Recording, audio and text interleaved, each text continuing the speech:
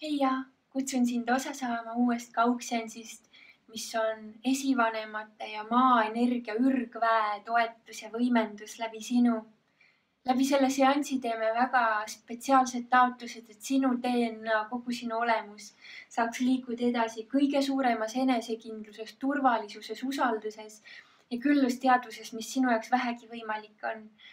ma soovin sulle kõike head ja kohtumiseni